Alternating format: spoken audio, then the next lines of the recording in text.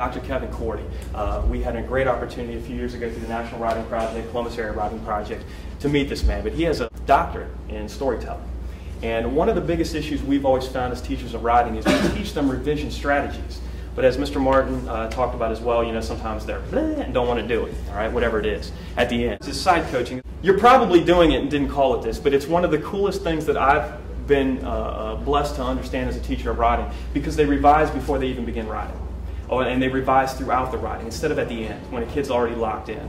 Uh, and what happens is, you know, he has taught us that, that the first writing was oral communication, uh, obviously. So kids sometimes when they write, they're, they're hesitant to want to change.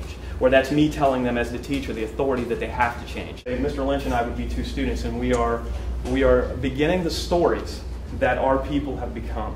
Uh, these Holocaust victims, these kids have to take on one of these. Well, they start telling the story. And at any moment, Mr. Lynch might say, stop.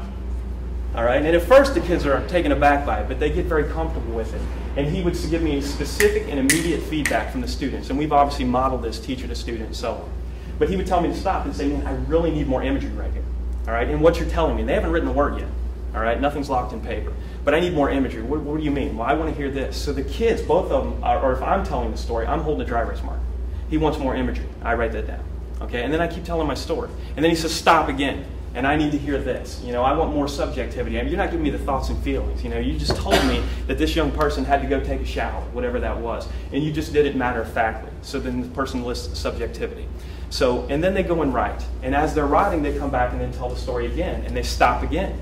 Uh, side coaching is revising before and after and not waiting until the end when we give them a series of things to do and the child says, you know what, I'm done, all right, it's time to move forward. Well, they haven't even began yet. So we, are, we raise the bar of what we're looking for before we ever begin. And we do a lot of that through story in the classroom, telling a story.